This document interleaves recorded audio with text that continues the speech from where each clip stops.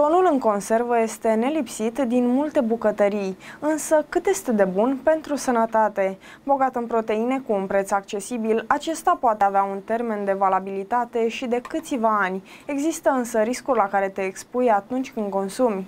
Sursă bogată de proteine cu un conținut scăzut de grăsime și puține calorii, tonul conservat în ulei are un conținut caloric mai ridicat decât cel conservat în apă. Conform site-ului farmaciata.ro, tonul în conservă conține mult mai mult sodiu decât varianta proaspătă. Tonul în conservă este o sursă accesibilă de proteine care menține senzația de sățietate timp îndelungat. În plus, se poate păstra chiar și până la 5 ani. Conține puține calorii, fiind o variantă ideală și pentru dietele de slăbire. Are un conținut scăzut de grăsimi, fiind o bună sursă de omega-3. Astfel, tonul în conservă poate ajuta la creșterea dozei de omega-3 din meniul zilnic, care ajută la menținerea sănătății inimii, a creierului și a ochilor. Anumite studii arată că poate chiar diminua inflamația din organism. Bogat în vitamina D și seleniu, tonul în conservă aduce un aport important de vitamine și minerale, putând fi cu ușurință integrat într-o dietă sănătoasă. Există pericolul ca tonul să fie contaminat cu metale grele, precum mercurul. Specialiștii atrag atenția cu privire la faptul că o expunere expunere constantă la mercur poate cauza serioase probleme de sănătate, afectând inclusiv sistemul nervos. Pentru că tonul este un pește care se hrănește cu alți pești mai mici, posibil contaminați la rândul lor cu mercur, există un risc mai mare de a prezenta valori mai crescute spre deosebire de somon, de exemplu. În cazul adulților s-a constatat că un consum mare de pește contaminat cu mercur săptămânal crește riscul oboselii accentuate. Femeile însărcinate ar trebui de asemenea să limiteze consumul de ton în conservă pentru dezvoltarea sănătoasă a fătului produsului, întrucât există riscul ca acesta să conțină o cantitate prea mare de mercur. Este recomandat ca tonul în conservă să fie consumat ocazional, iar eticheta produsului să fie citită cu atenție.